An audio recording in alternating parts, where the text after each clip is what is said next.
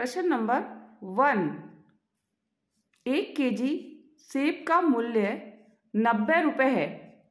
एक किलोग्राम सेब का मूल्य कितना है? नब्बे रुपए है। तो आठ केजी सेब का मूल्य कितना होगा? एक केजी सेब का मूल्य है। वन केजी सेब का मूल्य कितना था? नब्बे रुपये हमें निकालना है आठ केजी सेब का मूल्य। एक का नब्बे हमें निकालना है आठ का तो हम क्या करेंगे? नब्बे को आठ से गुणा कर देंगे। नौ अंटे बहत्तर, और आगे क्योंकि ज़ीरो था तो हम यहाँ लगा देंगे ज़ीरो। तो आठ के जी सेब का मूल्य कितना हो गया? सात सौ बीस रुपये तो हमारा ऑप्शन में देखना है हमें कि कौन सा आंसर राइट है। तो हमारा आंसर सेकंड नंबर जो है इसका क्या होगा?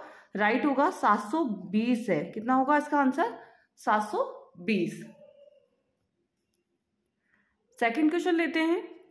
सेकंड क्वेश्चन है, दो केजी चावल का मूल्य दो किलोग्राम चावल का मूल्य है एक सौ तीस रुपये तो पाँच के जी चावल का मूल्य कितना होगा? वो हमें निकालना होगा। सबसे पहला हमारा दे रखा है दो के जी चावल का मूल्य कितना है? एक सौ तीस रुपये अब हम पहले निकालेंगे एक के जी चावल। तो एक के जी चावल का मूल्य कितना हो जाएगा? एक सौ तीस में हम भाग देंगे दो का। एक सौ तीस में हमें किसका भाग देना है? दो का भाग देना है। और एक सौ तीस में हम दो का भाग देंगे तो हमारे पास आएगा पैंसठ रुपये एक, दो के जी का कितना था? एक सौ तीस था। एक किलोग्राम का कितना हो गया? पैंसठ रुपये अब हमें निकालना है पाँच का। पाँच के जी